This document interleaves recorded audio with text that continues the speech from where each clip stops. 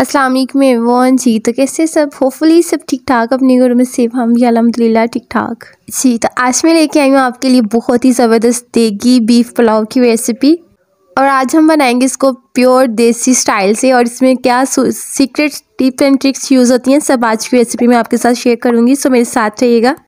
बिसमीम स्टार्ट करते हैं। जी तो यहाँ पे तकरीबन वन एंड हाफ़ के जी मेरे पास बीफ है। और ये मिक्स है, ठीक है? और यहाँ पे मैंने इसको अच्छे से धो के वॉश करके मैंने इसको रख दिया है। अब चलेंगे हम प्रेशर कुकर की तरफ़। अब सबसे पहले हम प्रेशर कुकर में बीफ ऐड करेंगे।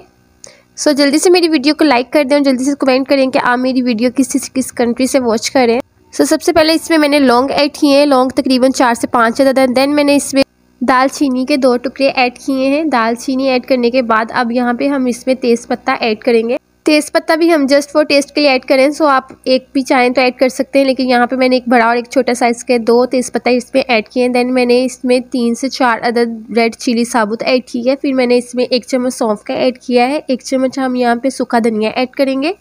और फिर हम इसमें ऐड करेंगे एक चम्मच हम ज़ीरा और फिर मैंने इसमें दो तकरीबन मैंने छोटी इलायची ऐड की थी। सो हम यहाँ पे देगी स्टाइल में रेसिपी रेडी कर रहे हैं सो आप इंग्रेडिएंट्स अच्छे से देख लीजिएगा। उसके बाद ये अपने इसमें लहसुन ऐड करना है, ठीक है? चार से पाँच जो है, मेरे पास लहसुन के थे, उसके बाद मैंने ये इसमें प्याज ऐड कर दिया है। अब हम सबसे इसमें मेन इंग्रेडिएंट ऐड करने जा रहे हैं और वो है जी सॉल्ट सॉल्ट आपने अपने हिसाब से एक चम्मच ऐड करना है, लेकिन बाद में आपने इस चीज़ का ध्यान रखना है कि जितना आप सॉल्ट इसमें ऑलरेडी ऐड कर रहे हैं, बाद में कम ही ऐड करिएगा। सो अपनी क्वांटिटी के हिसाब से आप इसमें सॉल्ट ऐड करें।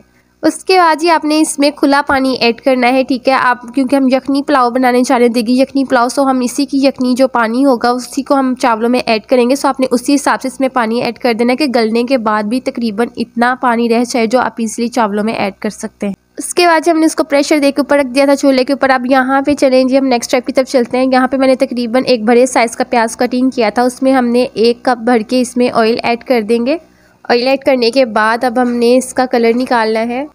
अब यहाँ पे कुछ लोगों को कम कलर पसंद है मतलब जितना चावलों में कलर होता है उससे थोड़ा सा कम ला, कुछ को लाइट पसंद है, कुछ को डार्क पसंद है। अब हमने यहाँ पे जितना आपकी मर्ज़ी है, आप निकाल सकते हैं। जब तक प्याज को कलर आता है, हम नेक्स्ट स्टेप की तरफ़ चलेंगे। अब यहाँ पे आपने एक दस जग ले लेना है ठीक है? उसमें आपने आठ से नौ जवे लहसुन के ऐड करने हैं। लहसुन ऐड करने के बाद, जैसा कि आप देख सकते हैं, उसके बाद मैंने इसमें अदरक ऐड कर दिया है। अदरक भी आप उसकी क्वांटिटी चेक कर सकते हैं, कितनी हमने इसमें ऐड की है। और उसके बाद हमने इसमें ग्रीन चिली ऐड की है सबस मिर्चें। सबस मिर्ची हमने रूटीन से ज़रा हटके इसमें ऐड की हैं, क्योंकि थोड़ा सा स्पाइसीपन ही इसमें ज़्यादा अच्छा लगता है। देगी टाइप बना रहे हैं तो उसके लिए थोड़ी सी हमने हल्की सी स्पाइसी रखी है। उसके बाद हमने इसमें दो अदद टमाटर कटिंग करके रख दिए हैं। और टमाटर ऐड करने के बाद अब हम इसमें हल्का सा पानी ऐड कर देंगे, ताकि ग्राइंड करने में हमें कोई मसला ना हो। और यहाँ पे प्याज का तकरीबन कलर बहुत अच्छा आ चुका था, उसके बाद अपने पानी ऐड करके तो हल्का सा इसका जितना मर्ज़ी यहाँ पे आप चाहें तो कलर निकाल सकते हैं। अब आप पानी ऐड करने के बाद जितना चम्मच इसमें मिक्स करेंगे हिलाएँगे उतना ही ज़्यादा इसमें कलर आएगा। सो आप अपने हिसाब से इसमें कलर ला सकते हैं। उसके बाद ही आपने जो पेस्ट रेडी किया है वो इसमें ऐड कर दें। और पेस्ट ऐड करने के बाद अब आप चम्मच की वजह से इसको अच्छे से मिक्सअप करें।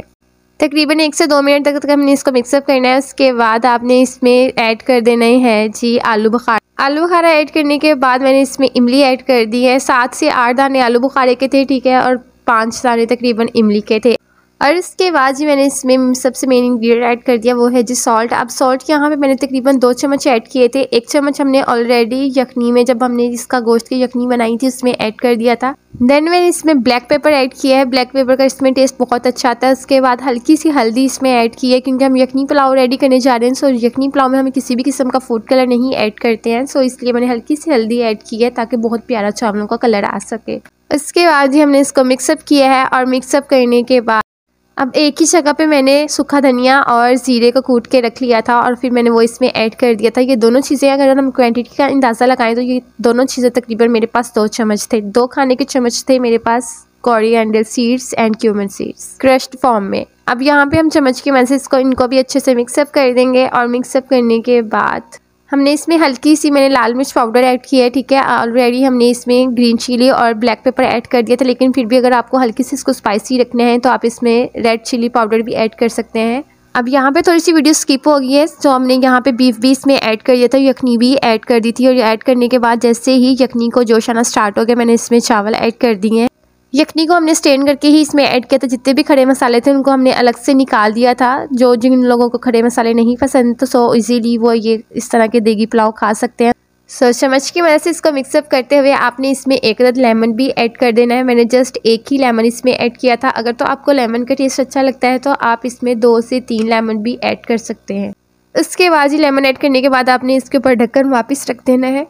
और फिर ये है जी कुछ इसकी फाइनल लुक बहुत ही लजीज जूसी टाइप का देगी, पुलाव रेडी है। बहुत ही खाने में टेस्टी एक दफ़ा आप ये रेसिपी ज़रूर ट्राई करेगा इंशाल्लाह आपको बहुत ज़्यादा पसंद आएगी। अगर तो आपको कुछ भी समझ नहीं आई है, जो भी चीज़ आपको समझ में नहीं आई तो आप मुझे कमेंट सेशन में ज़रूर बताएगा मैं आपको इंशाल्लाह वहाँ पे आंसर कर दूँगी। अब हम इसको डिश आउट करेंगे और ये देखें जी, ज़बरदस्त इसकी लुक है। सो so, जल्दी से वीडियो को लाइक कर दें चैनल को सब्सक्राइब कर दें और बेल के नोटिफिकेशन को प्रेस कर दें ताकि हर आने वाली वीडियो का नोटिफिकेशन आपको मिल सके और जो ऊपर आपको वीडियो नज़र आ रही है उसको ज़रूर वॉच करें। वो भी बहुत ज़्यादा बेस्ट वाली इन्फॉर्मेटिव वीडियो है। आपके बहुत काम आएगी। अब ये खड़े मसाले हमने अलग करके रख लिए थे लेकिन अगर आपने मेहमानों के आगे पेश करने हों तो आप इनको भी डेकोरेट कर सकते हैं। नहीं तो ये ऐसे दिखने में और खाने में बहुत लजीज है। अब मिलेंगे आपके साथ नेक्स्ट रेसिपी में। अपनी दुआ में याद रखिएगा। हाफिज़।